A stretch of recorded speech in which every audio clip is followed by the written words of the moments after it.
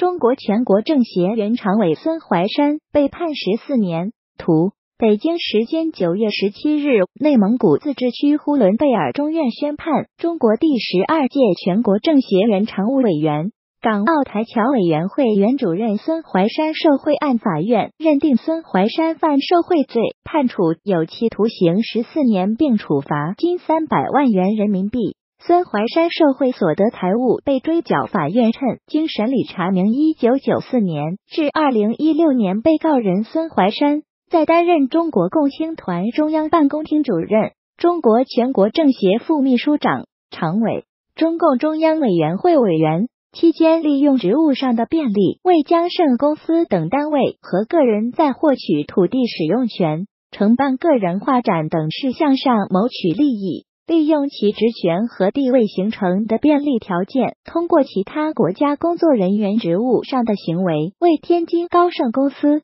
龙源国际投资发展有限公司等单位和个人在企业经营、项目审批、职务提拔等事项上谋取不正当利益。法院指出，二零零零年至二零一六年，孙怀山直接或者通过其妻、其子及儿媳等特定关系人，以收受现金、金条、书画作品。挂名领薪等方式，多次非法收受上述单位负责人和个人给予的财物，共计折合三千九百七十五万余元人民币。案发后，孙怀山主动交代办案机关尚不掌握部分受贿犯罪事实，赃款赃物已全部追缴。法院认为孙怀山有退缴赃款赃物、认罪悔罪，对其从轻处罚公开。资料显示，一九五二年出生的孙怀山是江苏涟水县人，曾长期在中共共青团中央任职。一九九四年调入全国政协机关，先后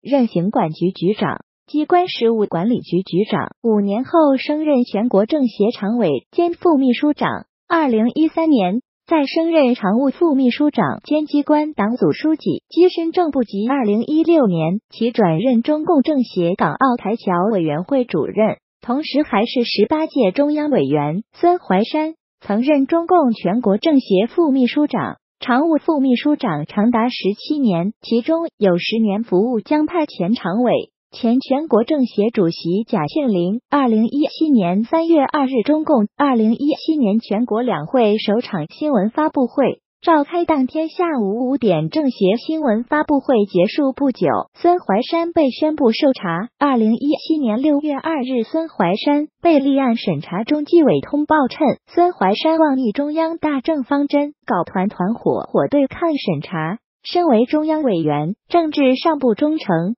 经济上贪婪等。今年二月，孙怀山被起诉，其被指控利用担任中共团中央办公厅主任、全国政协副秘书长及常委、中共中央委员的职务便利，为他人谋取利益，非法收受巨额财物，但没有说明数额。孙怀山成为首个被公开指利用中央委员身份牟利的官员。